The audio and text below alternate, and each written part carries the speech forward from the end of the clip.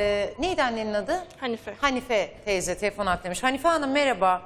Merhaba canım. Hoş İyi yayınlar. geldiniz. Şimdi Meltem'i dinliyoruz. Meltem böyle sakinlikle böyle anlatırken kafa bir an bir gidiyor. Sonra tekrar bir ben neredeyim e, diye Evet, düşünüyor ve doğrudur. anlatmaya başlıyor. Çünkü e, şöyle söyleyeyim, kolay gelsin. Sağ olun. E, yaşamak ayrı, anlatmak ayrı. Ben onu anlayabiliyorum. Zor zamanlar e, birlikte atlatıyoruz. Ya bir de şöyle diyelim, çoluk çocuk birlikte bu şekilde.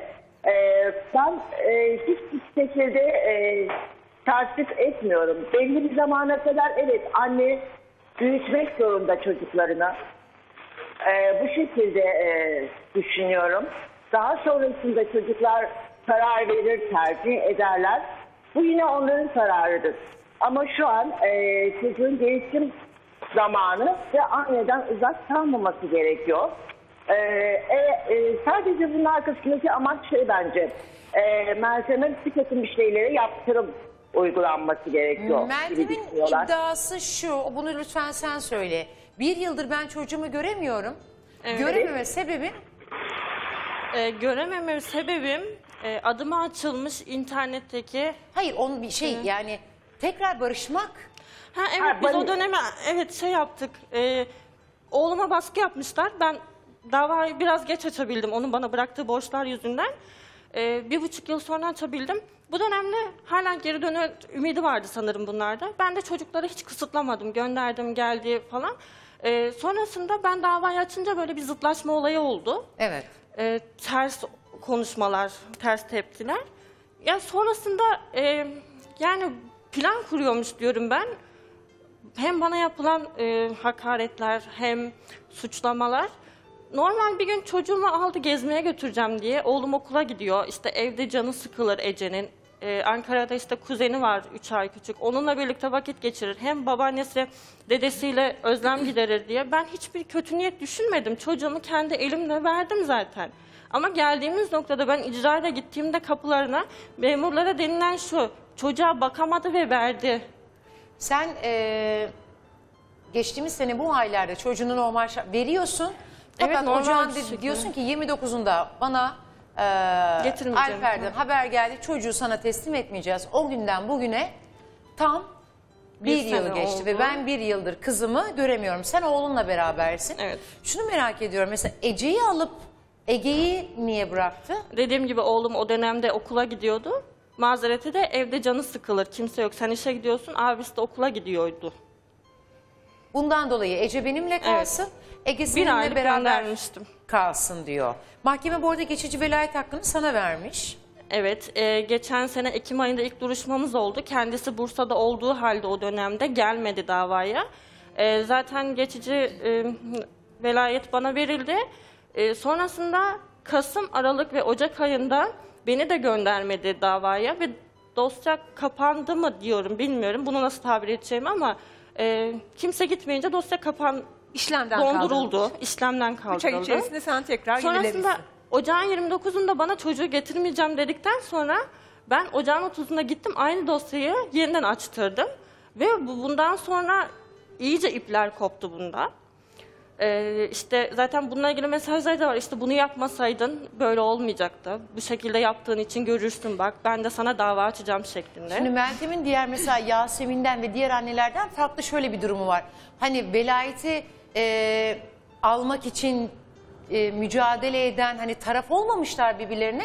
Bir tarafta Meltem e, kadınlığı üzerinden de sanırım e, çok defa yaralanmış ve e, vurulmuş. Hani bir boşanma davası çok Allah yani hiç kimsenin aile düzenini bozmasın. Bir boşan, boşanmayı gerçekleştirebilmek kolay değildir. Özellikle de çocuklar varsa. Ama sizin bunun dışında senin bir de kadın olarak da göğüs germen gereken birçok şey yaşanmış. Evet çünkü ben evde e, baba olmak zorundayım, evlat olmak zorundayım, anne olmak zorundayım. Benim çok sorumluluğum var aslında. Bunlara rağmen benim düzenli sigortalı bir işim olmasına rağmen kaldı ki onun borçlarını da ödememe rağmen iki tane çocukla yani geldiğimiz noktada ben çok farklı konumda oldum. Niye boşandınız siz? Ondan niye boşanmak istedin? Ee, sürekli şans oyunları vardı ve e, bir mağazaya gidiyordu. Bir eşya alıyordu. Ee, ama bunu evimizde kullanmak için değil. Ee, alıyordu bunu paraya çeviriyordu, nakde çeviriyordu. Bu şekilde. Yani telefonla arkadaşlarından falan mesajlar geliyordu. İnsanlardan para falan oluyormuş. İnsanlar çok zor da durumda falan kalıyordu. Ben birkaç kez bu mesajlara şahit oldum. Yani e, sürekli ailesi yönlendiriyordu açıkçası bunu. Son geldiğimiz noktada ben bunlara sabrediyordum. Çünkü herkesin geçim sıkıntısı vardır. Herkes eşit şartlarda yaşamıyor ve bunları göğüs gelmemiz gerekiyor. E, ama e, bu kendini işten çıkarttırdı. Çok güzel bir işi vardı. Ben erkek kardeşim bayan kuaförü. Kendi dükkanı vardı ve işlerini çok zora soktu. Bütün tazminatını aldı, erkek kardeşine dükkan açtı. Ben çok ağladım. Yani ortak olacağını söyledi ama hani bir insan neden eşinin iş kurmasını istemesin? Ama ben onun istemedim. Yani o şekilde onlarla kurmasını istemedim. Çünkü Alper'i e, şey olarak görüyorlar. Her şeyi halleder. Yani üç kağıt Halleder olur. mi peki? Halledemez aslında ama e, her işin bir üç kağıdı vardır onda. O şekilde halleder. Üç kağıt biraz daha ağır bir kelime ama hani bazı insanlar vardır. Hani geleceğe odaklı değil de günü kurtarmak için Aynen o şekilde e, yaşarlar. aslında. Hani günü kurtarabilen bir Evet. yeteneğe sahip olduğunu Evet. e, söylüyorsun. Bu konuda iddiaların var. E, şimdi bazen insan e, ya iyi kocadır ya iyi babadır. Görmedim ikisini de.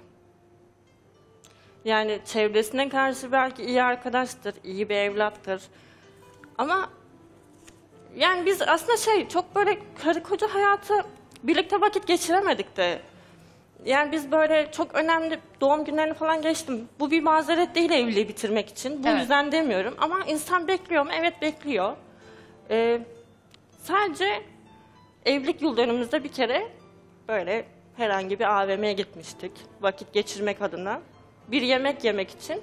E, Bu bile yoktu. Sadece bunu bir kez yaşayabildik. Ee, neden yoktu? Şartlar zorladıktan sonra olur mu? Evet. Ama iki gün sonra e, maddi olarak sıkıştığında babası biliyordu ki dışarılarda yemek yemeseydiniz diyeceğini. İki tane de çocuğunuz var. Yani tüm bu hayatın içerisinde iki tane çocuk var ve sen kızın Ece'yi bir yıldır göremiyorsun. Geçici velayet hakkı bende. Fakat baba bana çocuğumu göstermiyor. Ben e, üç kere haciz yoluyla çocuğumu görmek için gittim. Ama maalesef ki çocuğumu göremedim. E, Alper Bey'in söz hakkı ve cevap hakkı e, vardır eminim. Kayınvalideniz Nihal Hanım telefon hattında olacakmış. Eminim oğluyla alakalı iddiaları kendiyle ilgili e, burada biraz önce açıklamaların oldu. Hepsine e, cevap verecektir. Ve şimdi sevgili seyirciler Ankara'ya gidiyoruz. Caner 4.5G bağlantıda Ankara'da Ankara'da kar Ankara'da. yağışı başlamış sevgili seyirciler. Ve hep genelde böyle şeyler Caner'i buluyor. Ve diğer tarafta Özkan Bey. Esra Hanım. Evet kar yağışı başladı. ne? Caner seni dinliyorum. Ankara'da niçin Ankara'dasın? Şu an hava hava 5 derece.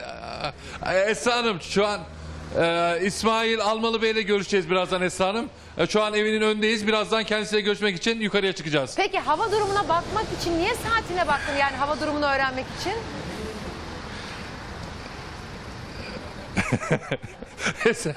Benim saatimde hava durumu da gösteriyor Esra. Şu an Az 5 değil, derece vallahi. ama saat yok. Peki İsmail Almalı Heyecan yaptım Esra Serkan'ın biyolojik babası mı?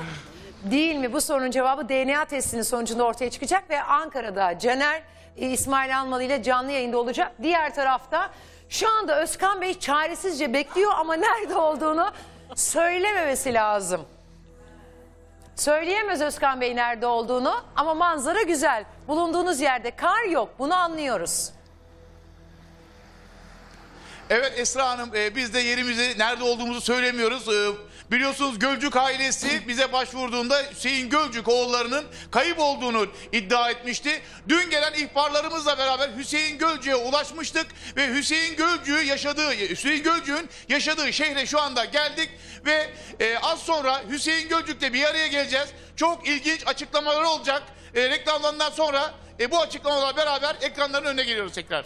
Sevgili seyirciler Ankara'da kar yağışı başlandı. Canlı yayında gözüküyor. Saçları kapatacak derecede bir yağış söz konusu. Ee, çok da herhalde pahalı bir saat hava durumunu. Ben hiç öyle bir saat görmedim hava durumu gösteren. Ha? Saat de bir saatine bakabilir miyim Caner? Allah seni ya. söyle söyle. Esra Hanım saat yok Esra Hanım. Hava ha, Esra hava olsun diye e, elime baktım hani. hani şöyle yaparlar ya. Bu adam İstanbul'a gelemedi ya göçebe hayatı yaşıyor ondan gitti yani.